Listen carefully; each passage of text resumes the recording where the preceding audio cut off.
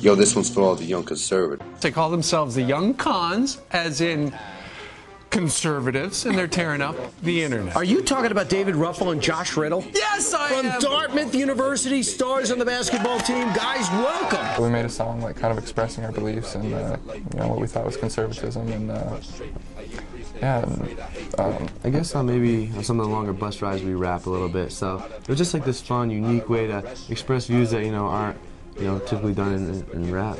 I'm 6'9", head and shoulders above the rest. Liberals playing checkers, I'm playing chess. My conservative view is drill, baby, drill. You can say you hate me, but I'm praying for you still. We're definitely trying to appeal to um, you know America's youth, and um, you know so much is shown through uh, you know movies and the, me- and the media and music, and um, and you know maybe it creates some of those stereotypes that you know it's this you know this old white guy conservative, and um, we're trying to show that you know maybe it's a little different, maybe um, talk about it and see you know what the ideas surrounding conservatism are. Can't support abortion and call yourself a Christian. I support life. You're a puzzle politician. when you take a stand on something, and I think when you share your faith and you know some of your more uncommon views, people are.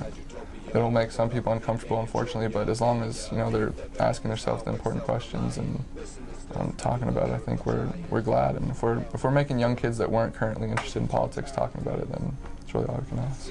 I'm starting to see a modern day Jimmy Carter, but really nothing but a Reagan era starter. We both loved Ronald Reagan.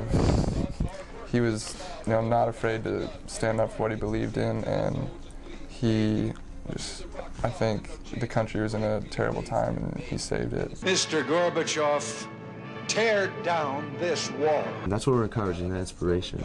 Superman, that's socialism, waterboard, that terrorism. I fulfill the role that's inherently mine, teaching politics through my rap and my rhyme. I think we do have a, an opportunity here that was kind of thrown upon us, and I think it does have potential to be something special. And I think we should really, uh, we should really try and do something that we can, whether it's through music or some other way. We need to, we need to kind of weigh our options, and I think figure out what the best way to reach as many people with our message as we can, and just hope for the best.